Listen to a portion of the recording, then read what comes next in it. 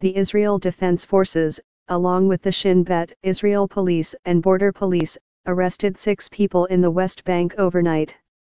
Of the six arrested, three are suspected of being involved with terrorist activities and civil violent disturbances against both the general public and the security services.